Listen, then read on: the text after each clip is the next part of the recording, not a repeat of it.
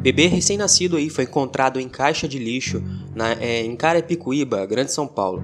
Como vocês podem ver nas imagens aí, a mulher retira o saco de lixo de dentro do porta-malas do carro e dentro do saco está a criança. E ela joga a criança ali, logo ao lado ali, as imagens não, não mostram aí o momento, porém ela joga a criança ali na caçamba de lixo. Em seguida, atravessa a rua para poder jogar a outra caixinha que estava a criança dentro. Logo em seguida, mais tarde, outras câmeras registraram um morador de rua pegando o saco de lixo e pegando a criança, né?